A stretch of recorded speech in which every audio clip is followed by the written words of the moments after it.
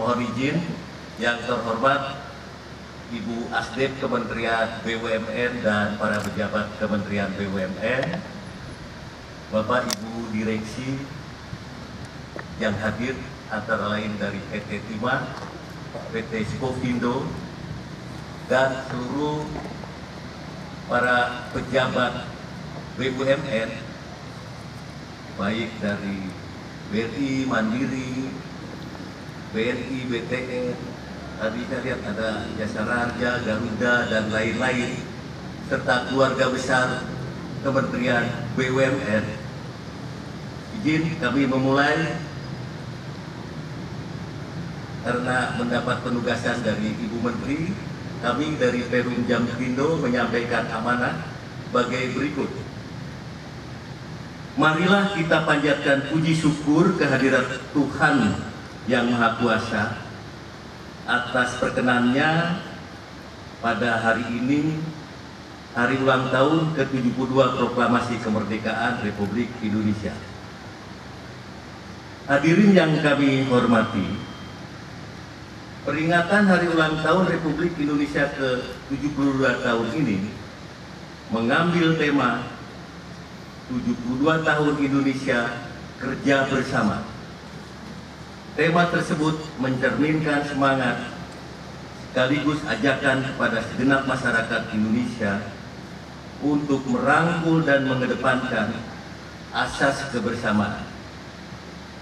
Melalui semboyan ini, masyarakat diingatkan untuk kembali bersama-sama bersatu hidup berdampingan dalam perbedaan dan melanjutkan perjuangan untuk menjadi bangsa yang terhormat, bangsa Indonesia. Perjuangan untuk mengisi kemerdekaan juga telah dilakukan oleh BUMN sejak dilakukannya nasionalisasi perusahaan-perusahaan asing menjadi perusahaan negara. Menghadapi era persaingan global, BUMN tidak dapat lagi bergerak sendiri-sendiri dan sporadis. Upaya-upaya individu BUMN meski sudah sangat maksimal hanya akan mengantarkan pada peningkatan kinerja yang linear sifatnya di mana itu tidak akan cukup untuk mengejar irama bisnis global. Sinergi dan kolaborasi antar entitas usaha khususnya antar BUMN adalah sebuah keniscayaan untuk mendorong pertumbuhan BUMN yang signifikan. Modal persatuan Indonesia yang kokoh itu harus terus kita jaga, terus kita rawat, kita perkuat, dan harus jadi pijakan kita bersama dalam menghadapi ujian sejarah berikutnya, yaitu memenuhi janji-janji kemerdekaan. Janji kemerdekaan untuk mewujudkan negara Indonesia yang merdeka, bersatu, berdaulat, adil, dan makmur. Saya percaya tugas yang maha itu akan bisa kita tunaikan apabila kita semua mau bersatu, mau bekerja sama, mau kerja bersama. Hadirin yang berbahagia, perayaan 72 tahun Indonesia Merdeka harus dijadikan tonggak BUMN untuk memberikan kontribusi yang optimal bagi masyarakat.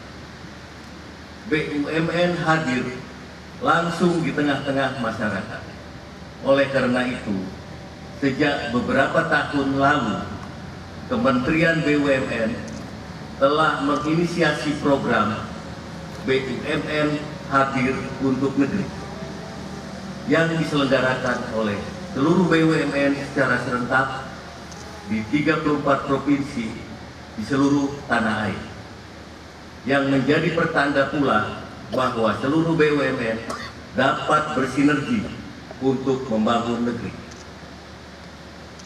Perum Jamkrindo dan PT Skovindo turut serta dalam mensukseskan program Kementerian BUMN melalui kegiatan-kegiatan program BUMN hadir untuk negeri, di mana pada tahun ini berpartisipasi aktif dengan menjadi PIC dan OPIC dalam program BUMN hadir untuk negeri yang dipusatkan di Provinsi Kepulauan Bangka Belitung.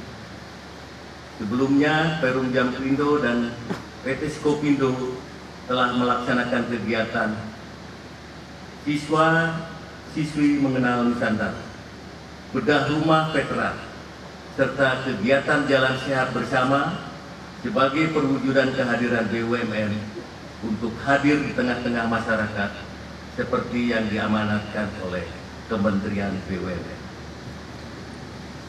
Hadirin yang kami hormati, BUMN merupakan entitas ekonomi negara yang cukup unik karena perannya sebagai agen pembangunan di Indonesia. Kehidupan masyarakat Indonesia sehari-hari tidak lepas dari barang dan jasa yang BUMN hasilkan. Prestasi BUMN tidak lepas dari komitmen Kementerian BUMN mengembangkan SDM dan aspek kelembagaan yang tertuang dalam peta jalan BUMN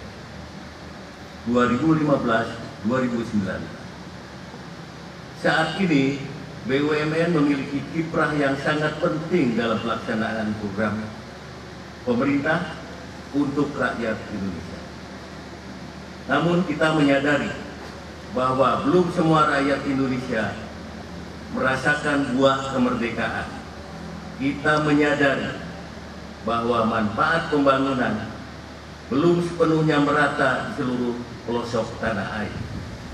Kita menyadari bahwa keadilan sosial bagi seluruh rakyat Indonesia belum sepenuhnya bisa kita wujudkan.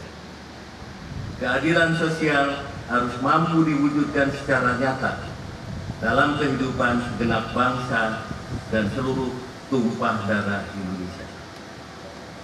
Rakyat di Aceh harus bisa merasakan pelayanan pendidikan, pelayanan kesehatan, pelayanan sanitasi, dan air bersih maupun pelayanan transportasi. Sama baiknya dengan apa yang dirasakan oleh saudara-saudara yang lain di seluruh pelosok negeri. Kita ingin rakyat di perbatasan Papua bisa memiliki rasa bangga pada tanah airnya karena kawasan perbatasan telah dibangun menjadi beranda terdepan dari Republik kita. Kita ingin rakyat Papua di pegunungan juga bisa menikmati harga BBM dan harga bahan pokok yang sama dengan saudara-saudaranya di wilayah lain di Indonesia. Salah satu program pemerintah pada saat ini adalah program BBM satu harga yang merupakan salah satu program strategis nasional yang bertujuan untuk mengurangi ketimpangan antar daerah. Penyeragaman harga BBM antar daerah di Indonesia dengan pembangunan lembaga penyalur adalah merupakan langkah awal dan berkesinambungan. Hadirin yang berbahagia, akhirnya dengan semangat persatuan Indonesia, saya yakin kita akan mampu menjalankan tugas-tugas kita menunjukkan kehidupan berbangsa dan bernegara yang mandiri, berdaulat, dan berkepribadian. Dengan berupaya maksimal dan diiringi doa, insya Allah akan memberikan hasil yang positif yang akan bermanfaat bagi diri sendiri, bagi keluarga, juga bagi perusahaan dan masyarakat pada umumnya. Tidak lupa pula Mari kita berdoa kepada Allah Subhanahu wa taala. Mudah-mudahan bangsa Indonesia tetap jaya selamanya dan untuk pemimpin-pemimpin kita diberikan kekuatan untuk memimpin beraneka ragam corak bangsa Indonesia. Selamat hari ulang tahun kemerdekaan Republik Indonesia yang ke-72. Merdeka merdeka, merdeka. Wassalamualaikum warahmatullahi wabarakatuh. 17 Agustus 2017.